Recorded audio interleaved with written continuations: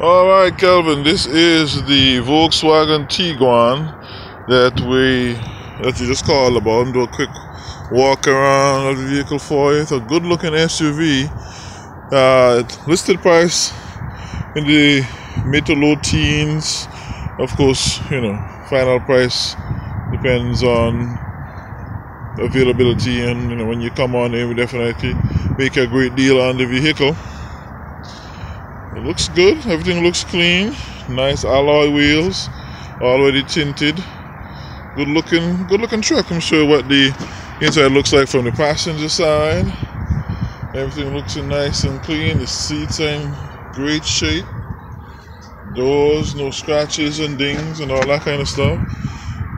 Great space at the back, including rear vent for your back seat passengers.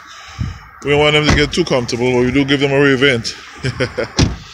like I said, it's a uh, 2011. Let me go on to the driver's side so you could see, you know, what it looks like from the side. I see no,